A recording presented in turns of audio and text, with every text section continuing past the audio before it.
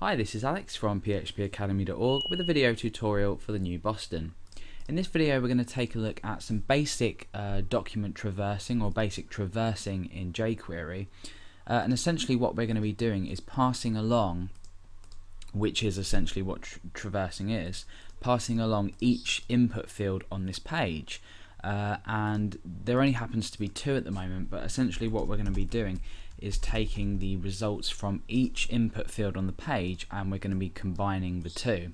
Now obviously this isn't really, well this doesn't really have its practical uses. If you were to for example want to combine a name you'd probably uniquely reference each of these anyway uh, and then just combine the values. But we're just going to be looking at the each statement or the each uh, you know function or whatever you want to call it in jQuery where we can pass along uh, each element uh, by a specific type and we're going to be choosing the input type with a, uh, an input field with the type text. Okay so let's go ahead over to our text editor and we'll start to write this out. So um, inside index.php we've obviously got um, jQuery included here as well as ext.js which is just going to handle uh, or have all of our jQuery code in. I'm going to go ahead and create a, a couple of input fields and then I'm going to create a div area that's going to show the combined results.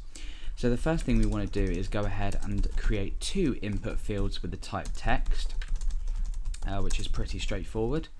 Uh, and I'm just going to go ahead and surround these in paragraph tags so we can keep them separate from our div uh, that we're going to put down here in just a moment. Uh, let's then go and create a button as well which is going to uh, have an event handler assigned to it and this is just going to be a combine button. So uh, the type is button obviously and the value we can just say combine. We need to go ahead and give this an ID uh, and I'm just going to call it combine or combine. So we can obviously let's just go and refresh we can type something in here and here, click combine, uh, and then we process the uh, traversing of these two fields, or as many fields as we have on our uh, page. And then just down here, we're going to display them in a div area. So I'm going to go ahead and create a div, and we'll go ahead and give this an ID of combined. That just makes sense. So combined. Uh, and obviously it's not visible on the page but obviously whatever we put inside of here will uh, be a, uh, you know be visible. And we're going to be putting the text inside of here from the combined once we press combine. So quite straightforward. Let's go ahead and get rid of this. Now let's go ahead overhead to ext.js which I mentioned we have included uh, in this page. Uh, and let's start writing the jQuery code. So the first thing we want to do is wait for the document to be ready. So we use document and the ready event handler Inside of this event handler we outline a function, so we've got function, our parentheses, and we've got uh, our block here. And I'm just going to pull that down and anything inside of here is what's going to be executed when the DOM is loaded and the document is ready. So the first thing we want to go ahead and do is actually set up an event handler for our combine button. So we've got this combine button uh, and we need to use a selector to select this and we're going to be selecting it by ID. So our name is combine here, uh, so we want to go ahead and use a hash because we're using an ID selector, and then combine.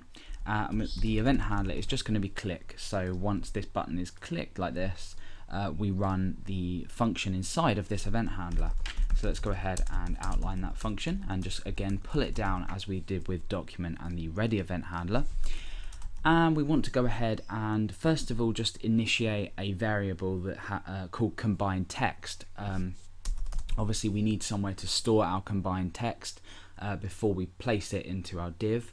So I'm just going to say var combined text and because we're using oh sorry equals nothing uh, so var combined underscore text equals nothing but we have string data here the reason that we do this is when we use each if we don't go ahead and uh, create a variable beforehand the combined text variable will show as unset or is not set because we're going to be just using we're going to be using the plus equals operator to just combine the values on. Uh, you'll see what I mean in a moment. So now's the uh, step of actually selecting um, all input uh, fields with the type of text. So again, we use a jQuery selector, and onto the end of this, we're going to use the each um, statement or the each function. Uh, so inside of here, we want to say input. Uh, at its current state, that's selected all input fields, but in brackets, we want to supply where the type is equal to text. Uh, so any input field with the type of text will now be selected. And what we want to do is we want to use each on the end of this, uh, and this will actually sort of loop through each uh, occurrence of this selector on the page. So we've got one here, and we've got one here. So inside of each, we uh, use a function once again.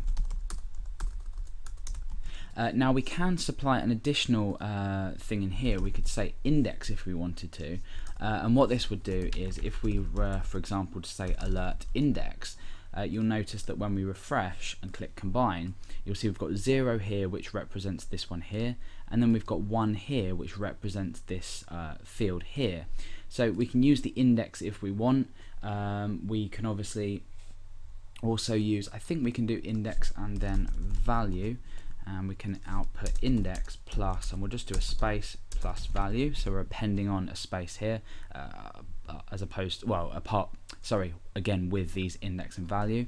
Uh, and if we were to go ahead and type say let's refresh Alex Garrett and click combine uh, okay yeah so we don't we don't have this uh, here but I'm going to show you another way to do it. So we'll just ignore that for now and we'll go ahead and ignore this for now. We can also get the value by using this here which refers to the current input type that's selected. So either the one at index 0 or index 1 uh, and then we can use .val on the end sorry .val